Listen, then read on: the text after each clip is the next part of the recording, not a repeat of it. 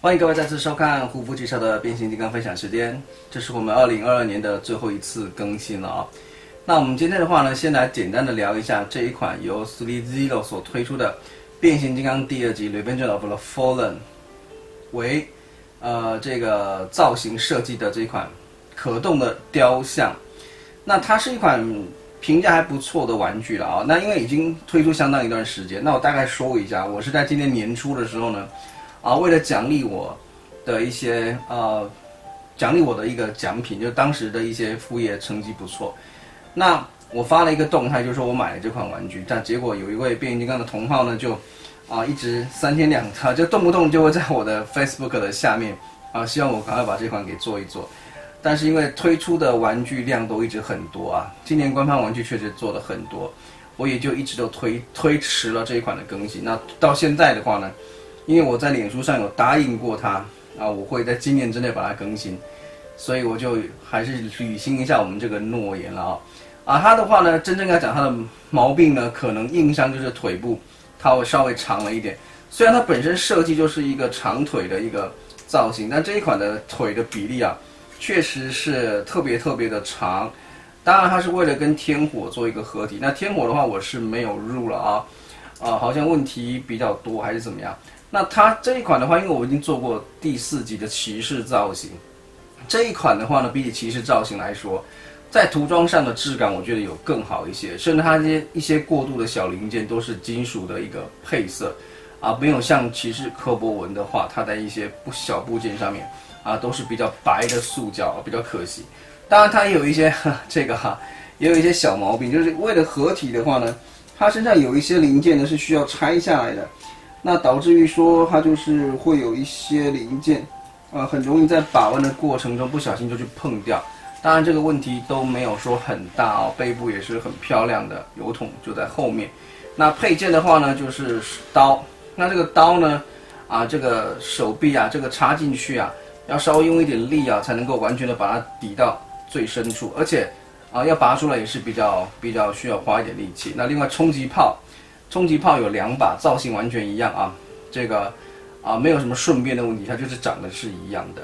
那它另外一边的话多了一个一个像是护手甲的东西，其他替换手啊什么就不说了啊。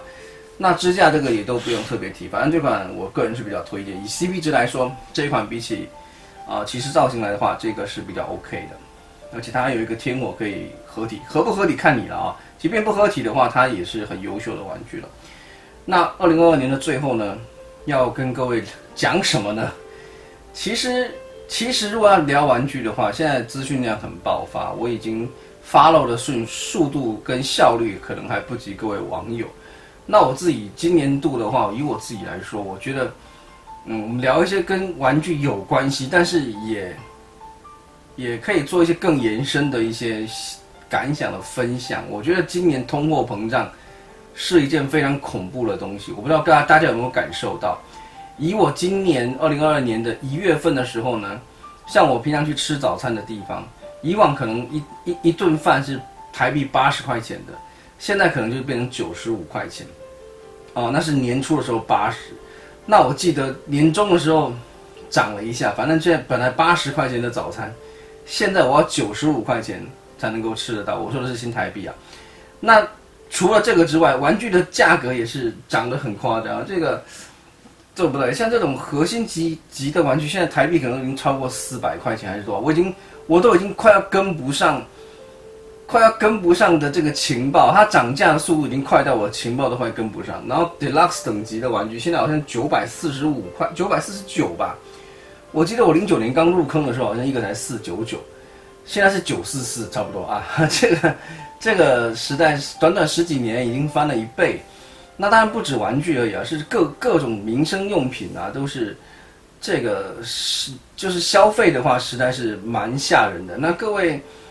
我今年的话呢，算是是是自我个人的收入已经比往年要高很多了啊，但是我还是觉得说，虽然我想要的东西大概还能够买到，可是没有我想象的那么样的，以我现在的薪薪资所得，不是我以前可以想象的，但是我总觉得，我好像也不能够随心所欲的想干嘛就干嘛了啊，所以说，大家的话就是还是要努力的，就是开源节流了。当然，开源比节流更重要啊！我也不会说要大家就是要怎么清心寡欲啊，就是要就是让自己的呃物欲少一点。其实人生也不要那么痛苦啦，就该该享受的还是要享受，但是呃该努力奋斗的地方还是要努力去做。那今年确实确实生活上比以往更加的不容易。那我自己是一个已经步入中年，人生已经过了一半了。我今年已经四十六岁啊，虚岁算四四十六岁了啊。如果我能活到九十的话，我已经过了一半了。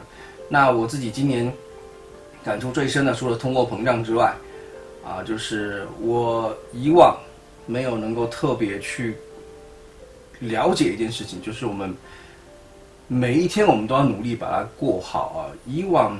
啊，以我像呃，跟我看节目看我节目比较久的朋友可能知道，其实我是身身兼三份工作的。那我正式的工作是在科技业当助理工程师。那以往的话呢，在这种大公司上班，我总是会有一种哎呀，反正混一天是一天的心态，对不对？我也是这样子想法。但是到今年之后呢，我突然有一种感觉，为什么我不把每一天都过得很好？为什么我不把工作都做得很漂亮？啊，我们尽量的把自己的。极限呢，去把它给挖掘出来。我觉得认真过好每一天是我今年最大的收入。那当然包括做玩具开箱也是一样。呃，我最近的话呢，我会啊在做影片的时候，我会比较习惯的在做一些稍稍的剪辑啊。其实做剪辑这个事情的话呢，是我想剪的话，我可以剪得更短，但是变化太大，可能怕观众又受不了。那其实呢，把影片剪短一点的话呢。我剪的部分其实也没有剪很多，我都是把一些重复的赘词给剪掉。那因为我个人习惯的话，我在玩具，比方说我要把玩具啊翻个面，或者是拔个东西出来的时候呢，啊，我就会讲一些啊这个呢，这个啊那个呢，呃怎么样？我会有这一些，因为我不希望画面冷场啊，就是我的节目基本上我的话是没有在中断的。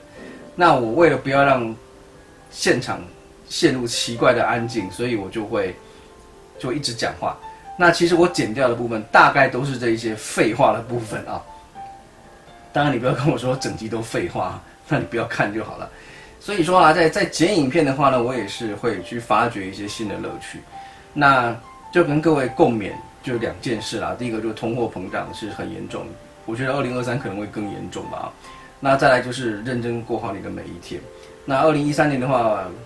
疫情这个部分的话呢，已经持续两三年了，和这个部分我们就不知道怎么样。反正大家就好好保重身体。那每年都会跟各位年末的时候互相勉励一下。今年的话呢，就跟各位啊做这么样的一个心情上的分享啊，大家身体照顾好，努力赚钱啊，对不对？明年的话呢，我们就啊，对了，还有一件事情啊，我我看我我猜机会渺茫。各位不知道你记不记得，二零一三年的时候呢，我在 YouTube 上面我有录了一集，是一个时空胶囊的节目，就是呢我把，呃几个玩具跟几本活动的手册，我把它封在一个箱子里头，那相约十年之后做开箱，明年就是二零二三年。我记得这个封箱的动作是二零一三年的三月左右，或是四月初啊。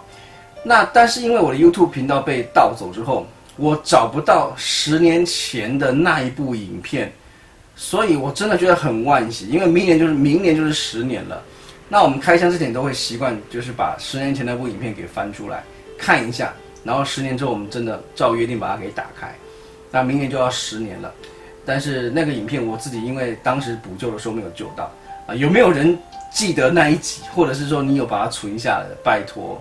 啊，请把它传给我，这个是明年度非常重要的一一集啊，好吧，那今天的话呢，就是二零二二年的最后一次的更新，谢谢各位这一年来的支持，也祝大家身体健康，万事如意。二零二三年的话呢，各方面呢都能够更上一层楼，我们明年再见，拜拜。